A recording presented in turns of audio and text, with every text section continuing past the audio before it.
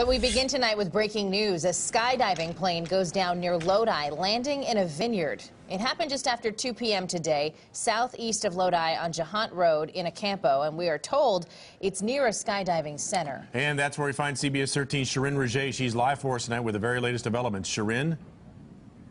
Sam and Christina, the FAA has just confirmed that there were 17 people on board that plane. No major injuries, but the pilot did suffer from minor injuries. Now, the plane went down in a great field right behind me, but I want to show you some pictures of that plane that landed upside down. The single engine Cessna 208 took off from Lodi Municipal Airport on a skydiving operation this afternoon.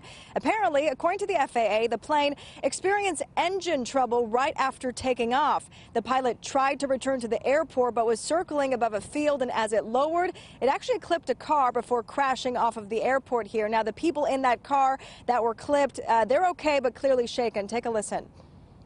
Unbelievable. I, I, think I was, it's a brand new truck. I was kind of more worried about hurting the truck and wouldn't think really what could have happened. Uh, scary. And there was probably 17 parachuters in the plane. Everybody got out fine.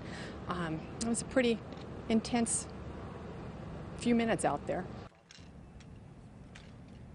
It's pretty incredible. The people on that plane were told walked out without major injuries. Again, the pilot suffered minor injuries. The FAA, the NTSB, they're investigating. We did go to the Parachute Flight Center to ask about this aircraft. They did not wish to uh, comment, but of course, there is a flight center close by here. We're trying to get more information. The FAA will be investigating this throughout the evening. Sam, Christina? All right, it'll be interesting to hear why, why exactly that plane went down. Shirin, thanks very much for the breaking news tonight.